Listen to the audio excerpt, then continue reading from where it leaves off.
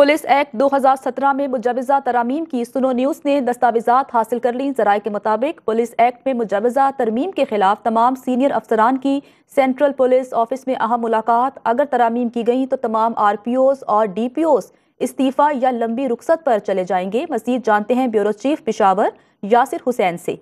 जी यासिर, बताइएगा।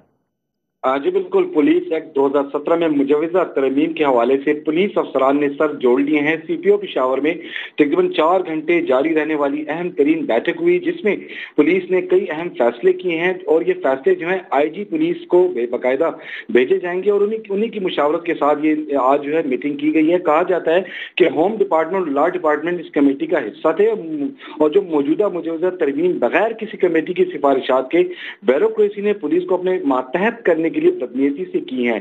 साथ साथ इस मीटिंग में यह भी कहा गया कि 20 साल पर मुहित केपी पुलिस की लाजवाल कुर्बानियों का इस किस्म का सिला ना दिया जाए। खासादार फोर्स कभी भी फौज के साथ शाना बशाना दहशतगर्दी की जंग नहीं लड़ सकती।